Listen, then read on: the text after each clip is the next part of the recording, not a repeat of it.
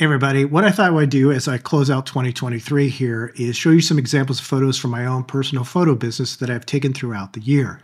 Most of my clients are teams or individuals, so I kind of skew my photography in that regard.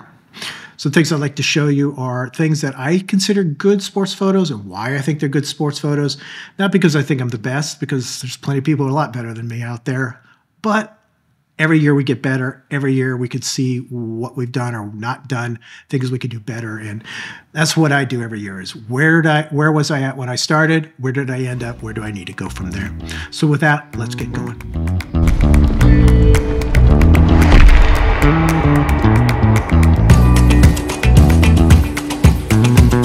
So before we get started, I just want to say uh, I'm fighting some sort of cold or allergy thing or something. So my voice is a little scratchy. Uh, I have to have it, keep having a cough, and my eyes look a little watery. So if you're looking at me wondering what the heck's wrong with me, that's what's going on. So I've broken down the images into either action or what I call emotion. And action, that's pretty self-explanatory. It's what happened during the game. Emotion is a candid moment during the game, before the game, after the game, that uh, the players are either experiencing great joy or great sorrow. I think they're both very powerful, and in some ways, the uh, the negative emotions, the sadness, is actually more compelling to the viewer, and it helps tell the story of what happened during that game. All right, so with that, let's get going. All right, so here's my first image, and obviously this is an action photo. It is during the game. What I like about this photo uh, that I feel is kind of compelling is well, there's three things. Uh, you know, we always talk about in sports, we like to see the ball, we like to see eyes. And you've got both of those in this particular image. I love her piercing eyes, and I love uh, the mouthpiece she has in her mouth. I think that just kind of adds to it a little bit. Now, I would tell you this was not shot as tightly as you see it right here. It was much wider, and I cropped it down uh, to what I you know, often refer as cropping for action, cropping for impact. And that's what I did in this particular photo. Uh, the rest of it didn't add to the story at all. And I just thought this is kind of a cool photo. So as you notice in this photo, they're standing on a track which surrounds the football field or the soccer field in this case. And I used a flash. So why did I use the flash? Now, normally I wouldn't do that. I would just use ambient light. However, I know from the for experience with these championship games is after they receive the championship trophy in the middle of the field, they like to run up to where the fans are and show it and cheer and you know get excited with the fans and the parents because I knew that because I had that experience and I could anticipate it. I put the flash on because I know the light is horrible on the track at night after one of these games. So I used the flash to, to fill it in. So technically, it is, a, is it a fantastic photo? No, but you, you know you really catch the the the the atmosphere, the excitement, the uh, energy of just winning winning a state championship, and that's hard to beat. All right, so this image is at a 5K. It's at the very end of the 5K. I was at the finish line, and I just love the way this runner has got her arms outstretched and coming in it really helped the, the fact that where I was located was down low. She was actually coming off a, a, small hill, and I intentionally positioned myself so I'd be down low. One of the things you might want to think about in sports photography is getting down low to make your athletes look bigger than life. One of the great techniques and what I, I recommend to everybody. And I just happened to catch her coming in throwing her arms out like that. And when you're doing these kind of 5K, 10Ks, marathons, a lot of people will show a lot of emotion when they cross this, the finish line, and she just happened to do so. Overall, just the emotion I thought was really cool. Another soccer game. This is another state championship. I don't think they had won at this point. In fact, I'm pretty sure they hadn't. However, they had just scored. It was long, long game. Nobody had scored. Somebody finally scored, and you can see the excitement in this particular photo from things I don't like about this image. If you look carefully in the background, you can see some wavy patterns. Unfortunately, this is a hot day and on a turf field, and oftentimes on turf fields, you'll get that, you know, the heat waves coming off the turf. Luckily, they were fairly close and the heat waves weren't affecting the image that badly, but you could definitely see it in the background women's flag football started up here in Arizona. Uh, this is our first year, and I got some pretty cool images. I wasn't sure what flag football would be like. The cool thing about flag football is that because there's no helmet, you can actually see their faces, which is great. good action. You can't really see her eyes looking straight at you, but you got eyes, a face, and a ball, action. One thing this photo has is conflict, uh, which we haven't seen up till now. And so the other images I showed you, conflict between opposing players is great in sports action photos. Uh, I always try to capture it, get it into the image as much as I possibly can. The other thing I like is you notice her feet aren't touching the ground. She's kind of floating through the air. I've heard some Sports Illustrated editors say they hate it when they see feet just planted on the ground, like they're they're locked to the ground. They her feet are definitely not locked to the ground. So I think this came out pretty well. All right, football photo. You're gonna notice a lot of football photos in this gallery because it's just one of those sports where there's so much of that conflict between players that I talked about earlier, some of the pure raw emotion that you get. Plus, there's, you know, tons of players out on the field at any time, and the game is just built for people coming in conflict with each other and pure athleticism, which is probably why it is my favorite sport to photograph. Anyway, great emotion right here. Uh, this player just scored a touchdown. Of course, he's very excited. I love the fact that his his teammates in the background are also cheering. It's I use the rule of thirds here it, to set up the cropping on this. Uh, you'll see it pretty common throughout my images. I love the rule of thirds. I love to have like a subject in one third and, and people in the background in the other third. And it just kind of sets off the photo. It's just a personal thing of mine. I know there's other rules associated with composure, but I, I tend to use it a lot. The other thing you want to do in images, as you can see, he's kind of pointed to our left. Uh, you always want your subject, you know, having some room in the photo to either look into or move into. And we've got that right here. All right, here's an action photo no real rule of thirds here. Players are centered in. I could have moved them slightly off to our left. Mm, I think it kind of it worked out fine either way. Again, this kind of shows the conflict between players. You got the ball, you got eyes, nice creamy background from a 400 to 8 I was using. Uh, I think it just it all came together. Is it the greatest soccer photo I ever taken? Nah, of course not. But I like it. Lots of good conflict, lots of eyes, lots of action.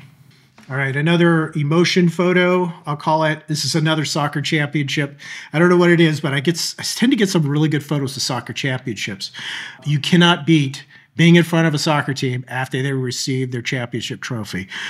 All right, football action photo. I like this because, again, this is one of those great action conflict between players, which I always see. I love to get in football games, and I like to get it in any other sport, quite frankly. But football seems to really generate the most. You can't see faces so clearly in this, and that's probably. I wish it was you know, I could see the faces just a little bit more, and eyes would be great. They're not locked to the ground. The feet are just slightly off, which shows the athleticism in the players. That's another thing I look for in these types of photos is athleticism. So I'm very excited about this and how it came out. All right, another action photo. I just like this. This is another photo that to me kind of encapsulates action and conflict. You can't see eyes too well, but at least you can see faces you got the ball in the photo. You you can know exactly what's going on when you look at this photo. So I'm pretty happy with it. This uh, player in the background between his legs. That's I kind of wish that wasn't there. I'm okay with the guy on the left, kind of slightly out like I said, I kind of wish this guy in the background on the ground wasn't there. Kind of distracts from my my uh, main focus here. But overall, I, I like this as a good football action photo. All right, so more lighthearted, emotional photo. Talked earlier about 5Ks, 10Ks. This is at a 5K. I do a lot of work for a company company here in Arizona, and they're fun to work for and do work for. I've done a lot of their events, and I found that when I sit up at the finish line, a lot of runners will leap over the finish line in exuberation that they completed it.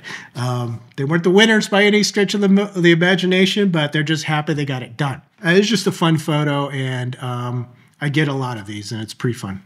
All right, action photo. This is at the same gaze as my last football photo. I like this one because of the. I just think this. there's some symmetry there. There's athleticism in it. Quarterback appears very calm while there's chaos going on all around him and behind him. He's up on his tiptoes, so he's not planted to the ground. There's grass flying. It's just when it comes to action photos, this is just one of the things that I kind of look for. You can see his eyes. You got the ball. You got the ref in the background checking it out. It tells a story, and I love that. And uh, is there anything I could change about this? Uh, I wish you know the guys in the background weren't quite blended into him. I wish there was some separation there, but but overall, I really like this photo. So this was taken at this is another emotion photo taken at the same game as one of my earlier photos. This one, this game produced a lot of good emotional photos. So, what do I love about this photo? Well, obviously the exuberance. He had just scored a, uh, a, a goal. Uh, very obviously very excited about it. I think that was the first score of this particular game. He come running to the sidelines with his arms out, yelling, and then he, you could see one of his uh, fellow players in the background running, big smile on his face. Uh, he's not blended in too much with my main subject. I just I love it. I love I love good emotional photos. So this is one of my favorites. If I could change anything about this photo, not too crazy about the two yellow lights in the background. I wish they weren't there. It's a little bit distracting. But you know, you take what you could find. You, are there. You catch what you can catch. You can't really control the background too much. All right. Uh, as you notice, I have several flag football photos in here. Again, it's great because you get eyes in the photos, which you don't normally, don't always get with uh, regular football. So eyes in a ball. That's what you get in this photo. And she looks very intense. Focus is very sharp on her eyes, which I love. I also tell you this was cropped in a little bit, but not too much. I lucked out that I caught this before she was like too big for my uh, the lens I was using at the time. Nice smooth background, very out of focus, creates separation between the subject and the background. So I'm pretty happy about how this came out. And uh, it's a great portrait of this individual. Uh, I hope they buy it and put it on their wall. All right, another soccer photo. This is from the same game as the players in white. This was a very emotional game. And they, of course, just scored a uh, goal. It shows athleticism. You see, they're not planted to the ground, as I've described before. They're celebrating such excitement, uh, nicely sharp, background's nice and smooth, not a lot of distractions. So, very happy with this photo, too. Another soccer photo. I like this one because the intensity. You've got the the main subject who kicked the ball into the is kicking the ball into the goal. You've got the goalie obviously missing it, and just the look on the uh, the main subject's face, the intensity. I, I love it. If I could change anything about this photo, it is the person in the background who's kind of blending into my main subject. Man, if I could if I could pull that guy out of there, I would. I wish he wasn't there. I wish he was maybe off to the right a little bit, but you get what you get, right? And uh, but overall, really, really happy with this photo and the way it came out. Very exciting. But again, I wish I didn't have that guy in the background. All right, so another football photo. Again, I really like shooting football. Thankfully, even though he's wearing a visor, you can see his eyes. Uh, there's no ball in it, but who cares? Because it's you know really an emotion celebration type photo. If there's anything I could change about this image is I wish he wasn't wearing a black uniform against a black background. I would love for him to be in any color other than black. Other things I could wish I could change is uh, which you could you know you could take out, but I tend to be in the photojournalism methodology where you don't change the photo too much. I kind of wish that, you know, the orange light in the background, it's not too bad. The one on the left is distracting. I wish it wasn't there. But as far as emotions, I mean, you can it's hard to beat stuff like this. So I'm I'm happy I caught it. I like it. Uh, again, I wish I wish it went wear a black uniform. Hmm. All right, soccer action photo. I like this photo for a couple different reasons. A, it shows athleticism which is one of the things I often look for is I try to make my subjects look like great athletes, even if they're little kids. And the way you do that is leaping through the air. They're not stuck to the ground, as you can see there. Going after the ball, the flying hair. I love flying hair. Uh, you'll see a lot of flying hair in my photos, if I can ever catch it. You know, and soccer allows you to do that because there's no helmets and they're both going for the ball. You got eyes, you got faces, you got the ball, you have athleticism. This was just a cool photo. And uh, I know this was on Instagram, and the player in blue uh, tagged it and made a joke about his hair. So I think it had good effect. You know, shot wide open at night, nice creamy background. The sun was going down, so at least it's not pitch black in the background. Another cool photo I really like. And finally, I want to finish with this photo because this has, to me, when it comes to emotion, this has everything built into it.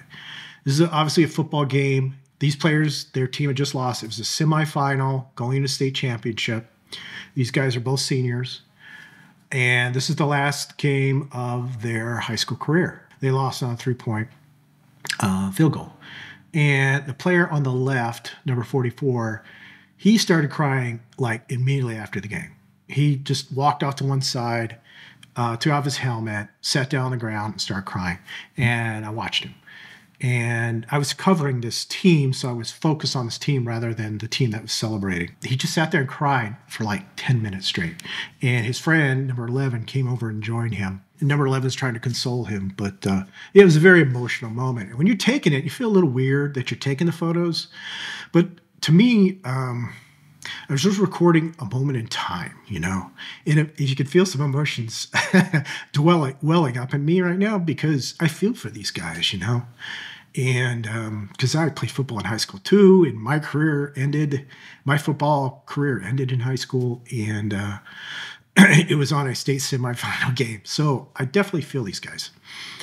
All right, so there you got saw me get all emotional about sports photography of all things. So until then, please check out some other videos.